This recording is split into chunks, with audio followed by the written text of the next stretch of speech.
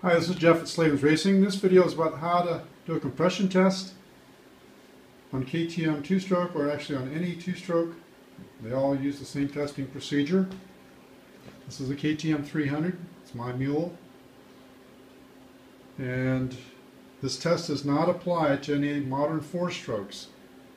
Any, any of the modern four-strokes have a decompression device on the camshaft which lowers the compression during kicking and cranking speeds. So they will give you a totally false test. They'll give you a really low reading. On four strokes, you have to do what's called a leak down test. That requires totally different equipment, and it's a totally different procedure. This is about two stroke compression tests. First of all, start off with good equipment. Cheap equipment will give you a false test. It's a waste of your money and your time. Don't do it. Either buy good equipment, borrow it, rent it, whatever you have to do, or take it somewhere to have it done. But don't go buy a cheap gauge. Matco, Mac, Snap-on, all have good gauges. There's, I'm sure there's some other ones out there that I'm not aware of. But the good compression gauges run two to three hundred dollars. They usually come with these adapter hoses for different size spark plugs. And so the first thing you have to do is make sure that you have the correct adapter and almost all modern two-strokes use an E-series spark plug. When I say E, right after the number is the letter E. So this spark plug is a BR7EIX, BR7ES, BR8, 9. If they have an E after the letter there, that's a three-quarter inch plug. So three-quarter inch means that this threaded area is three-quarters of an inch long.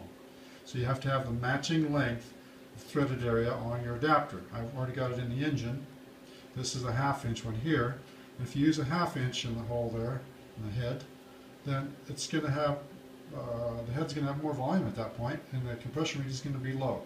So have the right equipment.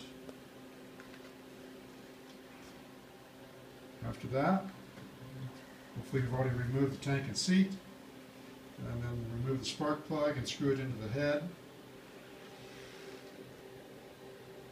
And then here's where the adapter plugs into the gauge. And I usually set the gauge up here on the handlebars. You have somebody hold it for you, but be careful with these expensive gauges. You don't want to be kicking the bike and have it fall off and bang on the floor because that ruins the gauge. So the test procedure. Uh, first I should back up. So what numbers are we looking for? Well, varies from brand to brand. On a KTM 300, from about, uh, I think, 04 to, to current, they, at sea level, they've got about 165 pounds. Here in Colorado, at 6,000 feet, they've got about 135 pounds.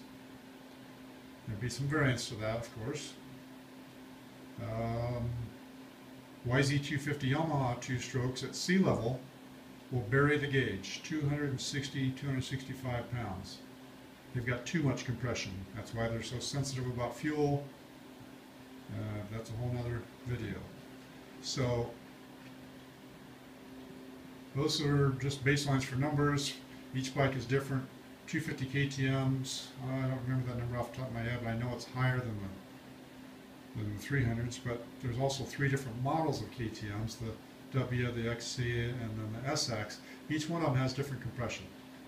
XCW has the lowest, XC the next highest, and then the SX the highest. So you can call your dealer, maybe, I don't know, most dealers probably don't know compression numbers. You can email me if you want, I might be able to find the information for you. Do not call, I don't need phone calls about compression. So after you've got the proper equipment, you've got it plugged in, then it's down to the procedure. So hold the kill button down because you've removed the spark plug from the system while you're doing the test so there's nothing grounding the system and the spark's going to try to find a place to jump and it can try to jump internally in the ignition system and damage it. Somewhat unlikely it will do that but it's well worth holding the kill button down to make sure it doesn't. Next thing is hold the throttle wide open, completely wide open, entire test. Next is use the Kickstarter. A lot of guys call me and tell me they use electric starter to do compression tests. I totally disagree with that. That's very damaging to the electric starter system. These starters are very light duty. It's the way they built them, that's the way they intended them to be, and they are not intended to sit there and grind on them to do a compression test. Do not do that. I'm also not convinced on high compression engines that the starter can can get the job done anyhow. On my bike, this bike cranks out 210 pounds.